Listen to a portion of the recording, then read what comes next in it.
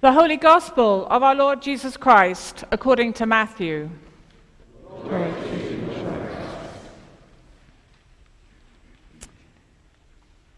Jesus said, For the kingdom of heaven is like a landowner who went out early in the morning to hire laborers for his vineyard. After agreeing with the laborers for the usual daily wage, he sent them into his vineyard. When he went out about nine o'clock, he saw others standing idle in the marketplace, and he said to them, You also go into the vineyard, and I will pay you whatever is right. So they went. When he went out again about noon and about three o'clock, he did the same. And about five o'clock he went out and found others standing around, and he said to them, Why are you standing here idle all day? They said to him, Because no one has hired us. He said to them, You also go into the vineyard. When evening came, the owner of the vineyard said to his manager, Call the laborers and give them their pay, beginning with the last and then going to the first. When those hired about five o'clock came, each of them received the usual daily wage. Now, when the first came, they thought they would receive more, but each of them also received the usual daily wage. And when they received it, they grumbled against the landowner, saying, These last worked only one hour, and you have made them equal to us, who have borne the burden of the day and the scorching heat. But he replied to one of them, Friend, I am doing you no wrong. Did you not agree with me for the usual daily wage? Take what belongs to you and go. I choose to give to this last the same as I give to you. Am I not allowed to do what I choose with what belongs to me? Or are you envious because I am generous? So the last will be first, and the first will be last. The Gospel of the Lord. Praise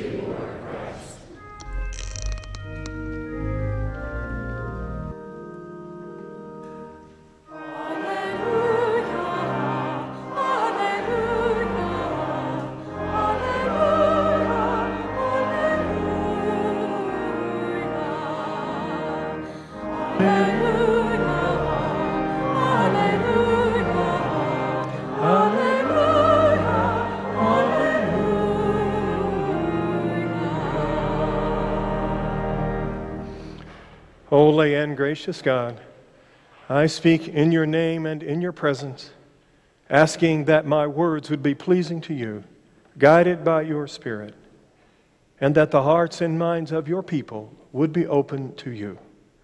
Through Christ our Lord, I pray. Amen.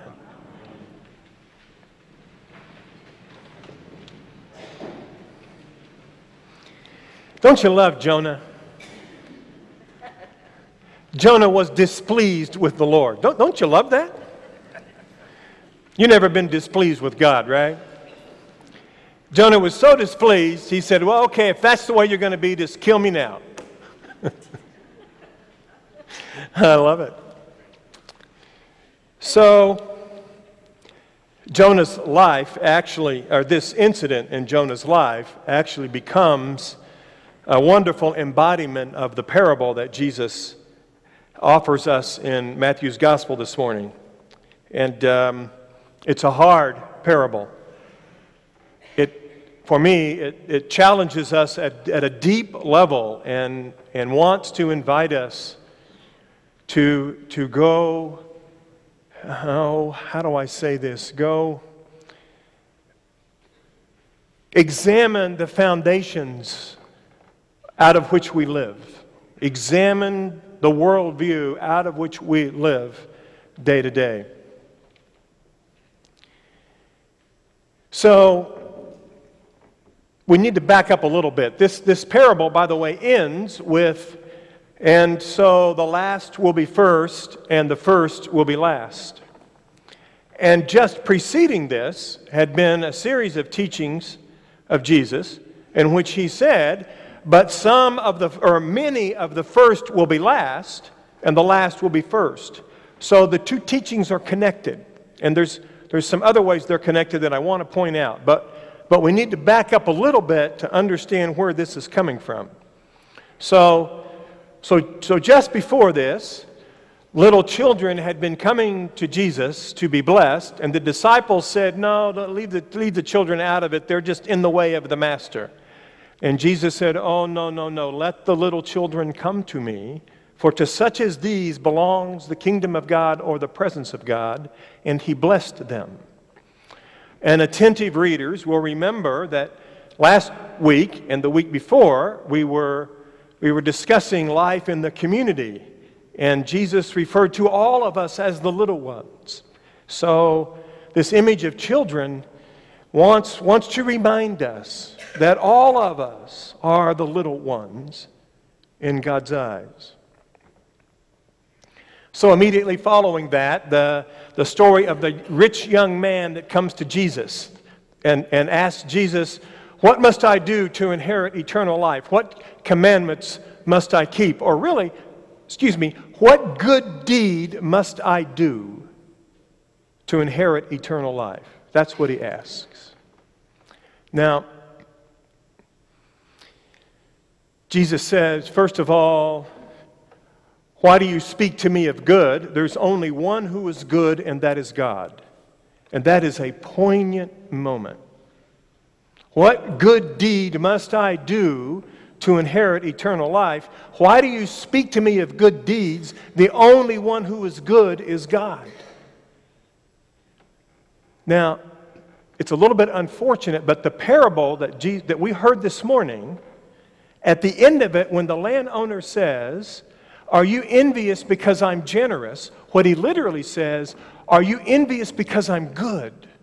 It's the very same word that this, this young man asked Jesus, and Jesus replies, Only God is good. And so, and the landowner says, He's a symbol for God in the story. Are you envious because I am good? So these two stories get tied together profoundly.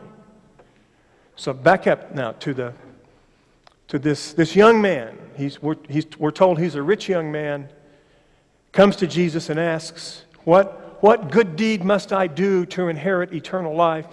Jesus says, Only God is good. And then keep the commandments. And, and, uh, and Jesus names for him the human commandments. He says, don't commit murder, don't steal, don't bear false witness, don't commit adultery, and, and love your neighbor as yourself. And the guy says, I've done all that. Now, th- that's another sermon, but everything in me wants to say, Really? really? Have you now? but he says, I've done all that. And I think, I think, I think he, he means to be, he honestly thinks he has. And so Jesus says, Well, only one thing you lack then. Go sell all that you have, give it to the poor. You'll have reward in heaven. Come follow me. And the guy walks away sorrowful because we learn he had many possessions. Now, again, a little aside, I like to think he came back later. You know, how many moments have you had in your spiritual life where you felt the Spirit was calling you to something and you said, not now, but you got another chance, right? So I like to think, I like to think he came back. But he walks away, and Jesus says how difficult it is for the wealthy to enter the kingdom. It is easier for a camel to pass through the eye of a needle than for the wealthy to enter the kingdom. And the disciples say, Well, Lord, if it's that difficult, who can do it? And Jesus says, with with humans, it's impossible, but with God, all things are possible. Again, very poignant truth. Only God is good. With God, all things are possible. So then Peter says, Well, Lord, what about us? Look at all that we have given up to follow you. What about us? Now, Peter's question is all about reward for what he's done. Can you hear that? And Jesus says to Peter, all who have given up a house and family and, and, and all the things that they have given up to follow me will receive reward a hundredfold and eternal life. But many who are first will be last, and the last will be first. Then he tells this parable.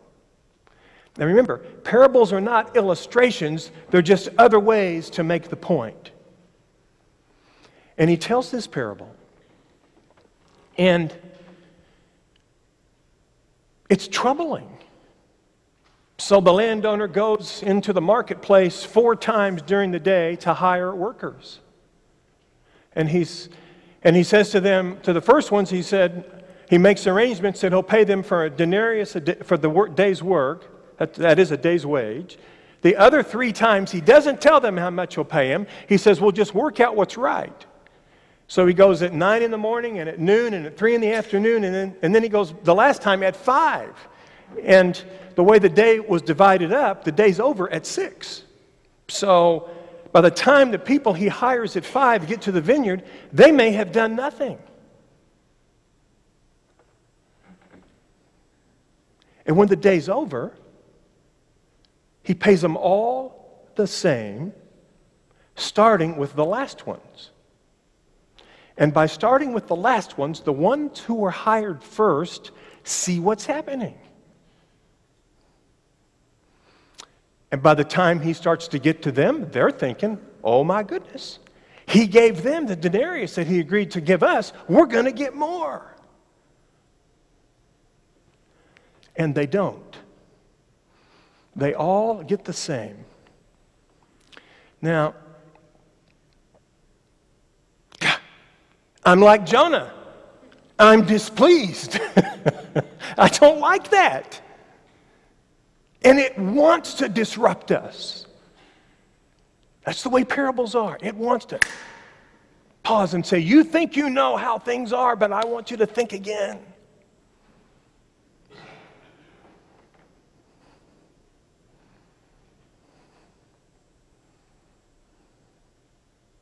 They all get paid the same. Now,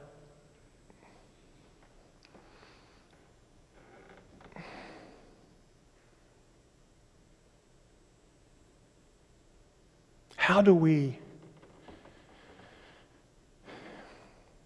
how can we hear this first of all there is no injustice in it we think there is it's, at first notice you think it's unjust but it's totally fair he gave everybody what he, he, he, didn't, he didn't betray anything that he promised anyone. He only made a specific arrangement with the, with, the, with the men he hired first, and he paid them what he said he would pay them.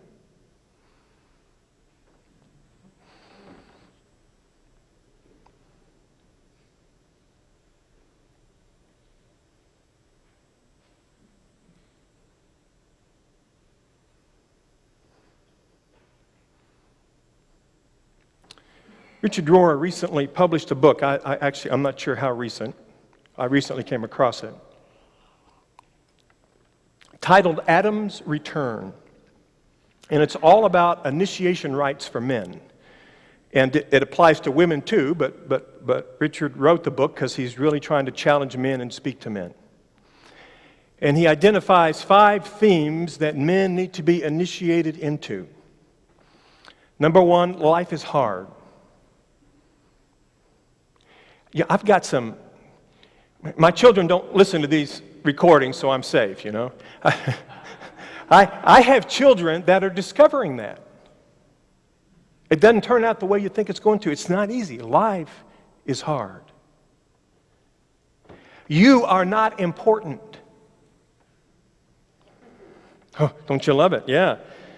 Your life is not about you. You are not in control. And finally, you're going to die.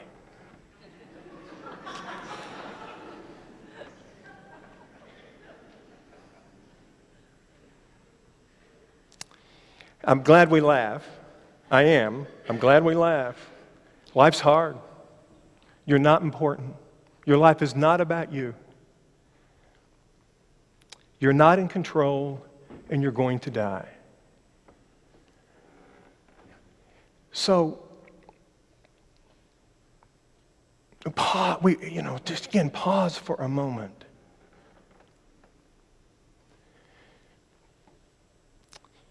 Only God is good. Now, I'm going to say something that I think we all think we think, and we think we believe, and we think we act on it. I'm going to suggest, I'm going to invite us to think carefully whether we really believe this, whether we really think it, and whether it really guides our behavior. Only God is good. Therefore, I cannot earn my way into heaven. I cannot achieve my way into heaven. Where I am and what I have and the goodness in my life, I didn't earn it, I didn't achieve it, I can't go accomplish it. It all flows from the goodness of God, the only one who is good. What good deed must I do to inherit eternal life? There isn't one.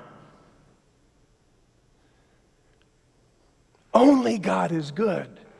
And entrance into the presence of God is only the work that God can do, not what I can do. It just begs us to pause a moment and look at how we look at our lives and then how we look at the others.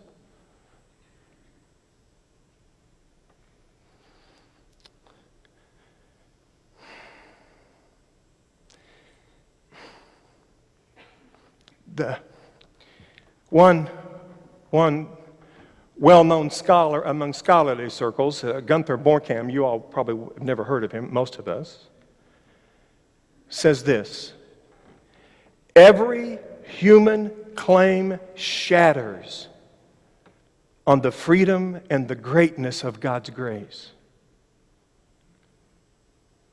Every human claim shatters on the freedom and the greatness of God's grace or God's goodness.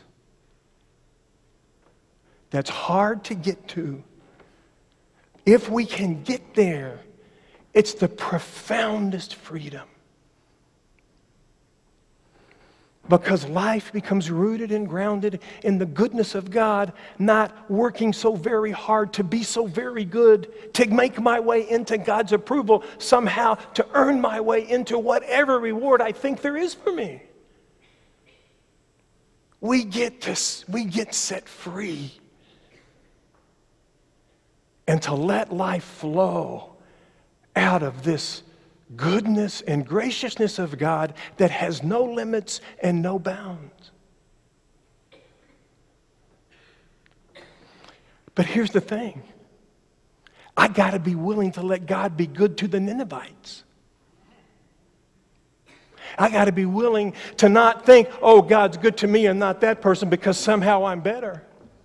Oh, that person is, is, is is destitute because of the decisions they've made. It's all their fault. Be with me now.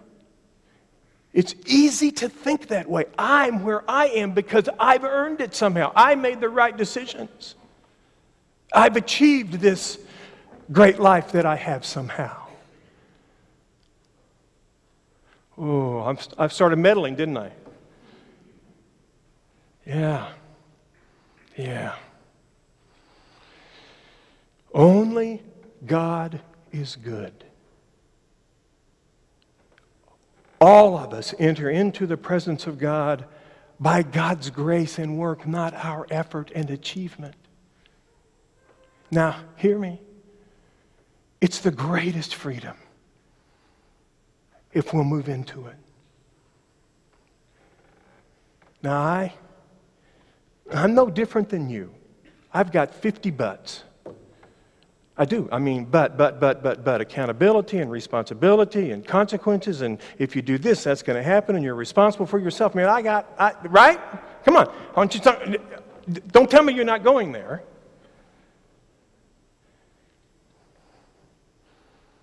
It's not that those things are not also true, it's there's this deeper truth, this profounder truth, this, this profound freedom. And when we get there, there's this, this wondrous thing. The human person does have divine life we, in, in her and him. We do. We are made in the image of God. And there is divine life in us. And at, at our deepest self, we want to be good. The deepest truth of the human person is I actually want to do good and to do the right thing. And if I live out of the goodness and the grace and the generosity of God, that's not going to be an excuse to go be awful because it's not in me to be that way. And so, this deep teaching of the, the goodness of God that we would live out of and not judge ourselves and not judge the other, but to live out of the goodness of God, the generosity of God, the grace of God, the abundance of God. And for me, everything changes as I find myself there. And from that place, then, I don't just not judge the other, I don't judge myself. St. Paul actually said that. I don't even judge myself, he says, because I'm God's servant, and that's God's business. I just rather live into the goodness of God and trust God's grace God's goodness, God's benevolence, God's bounty. That is freedom and abundant peacefulness because God really is good. God really is good.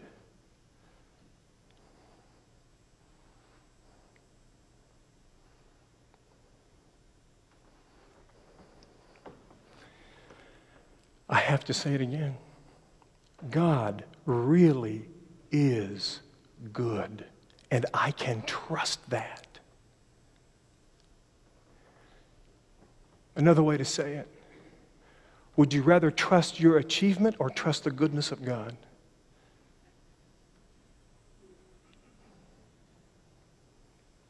And if you want to trust the goodness of God and not your achievement, are you willing to let God be good to the other? Who maybe, from your point of view, doesn't work as hard as you do and hasn't labored as long as you have and came lately.